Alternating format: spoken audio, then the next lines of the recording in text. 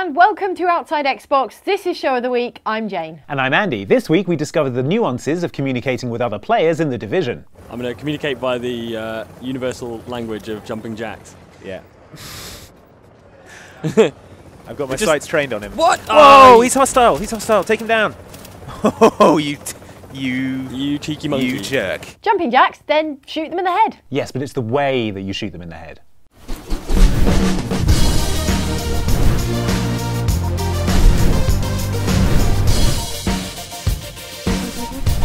That's what you've been doing in the division then, is it? Well, that and closing car doors. How are you on my comms? Just try not to shoot at anyone who's trying to help you. the hell is your problem?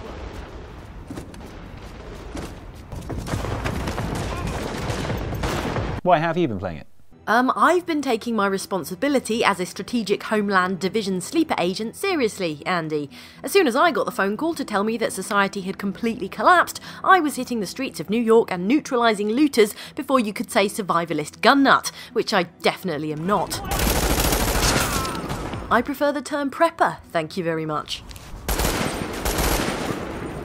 The Division's take on New York City, as found in the beta test that's running right now, is in the middle of a crisis caused by a weaponized version of the smallpox virus. Some unknown baddies infected banknotes just before Black Friday, meaning that eager shoppers took home a dose of fatal pox to go with their new 55 inch 4K TV. By the time patient zero feels the first sore throat, millions of people will already be infected. The US government collapses within five days. Basic services like police, fire, and Netflix stop working, and the people get to looting. Your job is essentially to help rebuild civilization, and not even in the fun, euphemistic way that involves your powers of procreation. Day 4. The power will fail. The shelves will be empty. The taps will run dry. And once hunger and despair take hold, people will do anything for survival. The Tom Clancy franchise has built a reputation for lethal realism, but in its open world multiplayer gunplay, the Division goes in completely the opposite direction. It's going to be jarring the first time you headshot someone and numbers come out instead of the fountain of brain matter you get in other Clancy games.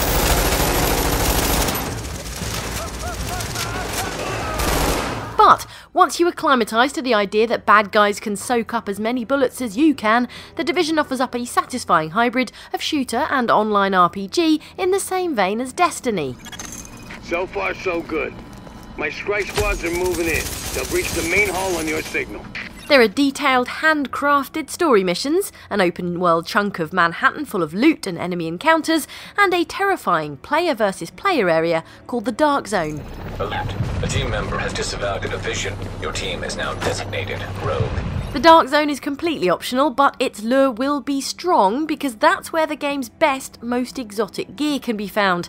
The catch is it has to be extracted and decontaminated before it can be used. That extraction process involves very publicly firing a flare into the sky and then digging in as other players rush in to rob you of your loot before the chopper arrives. You've got a bird inbound on your position. It's a bit like marching into a crack den and loudly announcing that you have a wallet full of 50s in your inside jacket pocket. Extraction operation complete. If you prefer to just concentrate on the story of the division, you can approach it any way you like. There are three distinct plot threads based on rebuilding security, technology, and health services, but once the introduction is over, you can tackle the missions in any order you see fit and with up to three other people. Keep your heads down and keep it quiet. Of course, Andy, if you want to skive off your missions entirely and make it your job to deal with the fact that everyone in New York has left their car doors slightly ajar, then that's your lookout. What, was everyone in the city born in a barn? We've got your back. Just try not to shoot at anyone who's trying to help you. Over. So it's set in New York, where loads of people have died of a virus. They got off some manky banknotes, placed in a right state. Oh, video game wrecking New York. That's a new one. You being sarcastic, or No, I've uh, literally never seen that before. because it sounds like you're being sarcastic. No, please do tell me about all the other occasions when it's happened. Can do, old friend, because The Division is only the latest in a long line of video games to make a real mess of New York City. It's like game developers just can't stop laying waste to the Big Apple with alien viruses, snowpocalypses, and ancient mythology. What did New York ever do to you, guys? Three more employees at their Times Square headquarters have been diagnosed with Crysis gave New York a makeover in the style of what they called urban jungle, which is the kind of euphemism a city planner might well use when they're trying to sell you a metropolis that's been infested by aliens, an alien virus, bad humans with guns, and the odd bit of jungly foliage. Man, I heard there was an alien invasion. Yeah, right. Illegal aliens. What the fuck was that? It's bad times for tourism in the Empire State, what with the alien Ceph wrecking up the place. What happened to these people? Just don't touch them. Hey! Looks like Lady Liberty took some heavy fire! Not to mention the extensive collateral damage by all that cell military hardware, and oh yeah, you in your supersuit. It's fine, I bet hardly anyone uses the Queensboro Bridge anyway.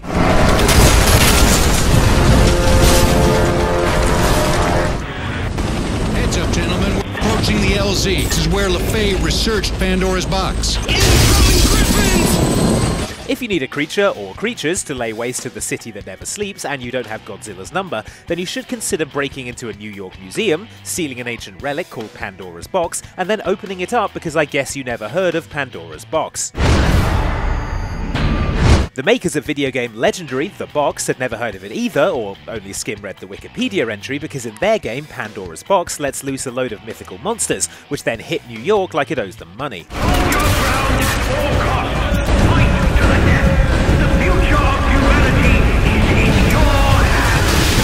If you thought catching a cab in NYC was hard before, you just wait till it's been taken over by werewolves, tentacles, and angry griffins. Taxi! It all started right here. Where else could it happen? New York, capital of the universe. The chessboard destiny chose for the last big game. Speaking of half-baked mythology, Indigo Prophecy, aka Fahrenheit, is yet another game which has it in for this one hell of a town. Tyler, somebody gets murdered every day in New York. But especially when I'm on night duty. It's as if every psycho in the city has it in for me. If you want a bitch, do it inside. That way I don't have to freeze to death listening to it. Robert Frost wrote that some say the world will end in fire, some say in ice, and Indigo Prophecy is firmly in the latter camp, because you spend the whole game in the midst of a snowy Armageddon, with its epicenter in the city so nice they named it twice. The army has been mobilized to help provide shelter and basic necessities, but the cold and snow have hampered ground movement, and storms have shut down every airport in the country. Scientists are still unable to fully explain the reason behind the cold wave which has now gripped the entire planet. I mean, you think a bit of ice would be the least of New York's worries when powerful Illuminati style factions are fighting for control of a prophesized miracle child, with which they can turn all humankind into slaves. But you tell that to Lucas wearing his gym jams when it's negative 55 degrees out. I'm leaving you here. You mustn't move, understand? I'll be back soon to get you. I hope.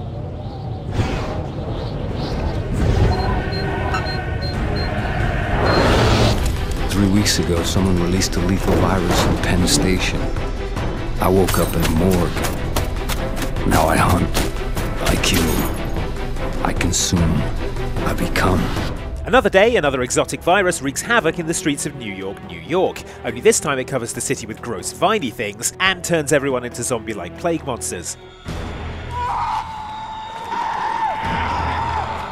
The Blacklight virus, as it's known, has made a real wreck of the birth city of Theodore Roosevelt. But on the bright side, you become a wicked shapeshifter with blade arms, and Theodore Roosevelt would probably be totally cool with that.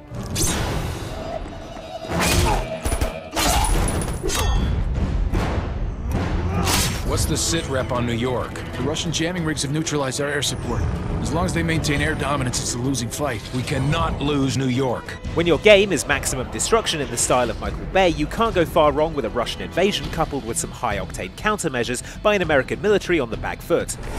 Overlord, this is Zero One. We are en route to the harbor. Over. Since the Russian invaders of Call of Duty Modern Warfare 3 installed a full spectrum jammer on top of the New York Stock Exchange, there's been more military hardware downtown than in a, well, yes, a Michael Bay movie. We're hit! We're hit! Hang on! It's raining on fire helicopters out there, and just to be sure there'll be nowhere for the stockbrokers to work come Monday, US forces cap it off by airstriking the heck out of the financial district. Verify initial strikes on the Predator feed. Sir, appears all sites have been neutralized. Oh man, now where will I broke my stocks? All primary threats neutralized. Good work, team. That's one for the books.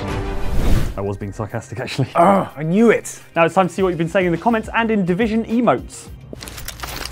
No stopping out here. Uh, about 11.30. Thanks for asking. First up, your comments on last week's show about Resident Evil Zero and the prequels that shed new light on the original games. Normally the formula goes release successful game, collect money, use money to make sequel. Every so often though, developers like to shake it up and tell you what happened before your favourite games in what we in the biz like to call a prequel. Some top suggestions from the Ox Boxsters, such as this from commenter Jan Jan, who says, Going along with the prequels theme, how about Bioshock Infinite's Burial at Sea DLCs? Does it count as a prequel if it's in an alternate dimension? I don't, I'm going to start getting nosebleeds again. Okay, how about this from commenter James Everett? What, no Deus Ex Human Revolution? Yes, that sets up the essential conflicts of the Deus Ex universe, the nature of humanity, the Icarian parallels. And in my game, it sets up a sequel where an angry subway dancer pursues Adam Jensen for punching him every time he crosses Detroit. Sure, and that. And commenter The Reactor to adds, in the list of best prequels, Portal Stories, Mel, even if it's not canon. Now for the comments on this video about the time Dying Light gave Jane and Andy a buggy that dispenses mines. I'm going to get in the back. I'm going to get in the front. You see me in the front? Yep, I'm going to tell you when to drop mines. Right. See you in there. All right. Okay. Commenter Drake Oram is impressed. They say, that was an excellent display of Minecraft from Jane. While Pathetic Industries points out, looks like that zombie at 106 puked on the mine and that caused it to explode. That's exactly how I want to go. Come on, zombie. It's like you don't even want to catch me. There, we, there we go. go. And Ryan Stanley says, Paul, I think he's dead, Andy. Well, can't hurt to make sure. It's like laying an egg. And dry, yeah, dr- lay one now. Lay an egg. Okay, now stop. Lay mine. Nice, Yes. and pull. Amazing.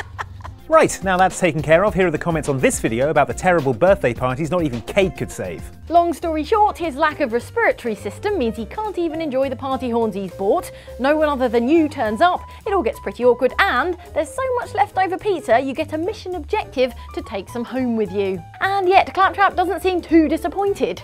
That was the best party I've ever thrown! Does that make it worse? I think that makes it worse. Sluntrox points out that, minus the party, but wasn't the beginning of Last of Us on Joel's birthday. Oh yeah, probably not a top 10 birthday, that one.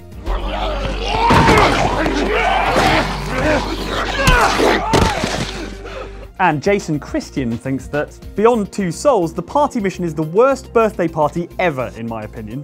Burnt down everything! She's the devil! She's the devil! Ah, kids. And finally, the Rupert Litterbin has had his whole world shaken, saying, I didn't think it was possible for a birthday party with Liam Neeson there could suck. Fallout proved me wrong. No, I don't want your goddamn poem! I wrote you a poem just for you. I hope you like it. So you're telling me you, you wouldn't want a bleak poem about servitude and death for your birthday? Why? Is that what you've got me? No. Your real present's in the studio, I'm just going to go and get it. I hope it's Scalextric. That's it for Show of the Week. Thanks for watching. And before you go, don't forget to hit the electronic thumb for a chance to be picked up by a passing Vogon spaceship. Thanks for watching, we'll see you next time. So, did he like the poem? I didn't give it to him, what do we do? Oh, um, we go back in there, you get attacked by fungus zombies, and I'll telekinetically burn the place down. Love it, excellent plan.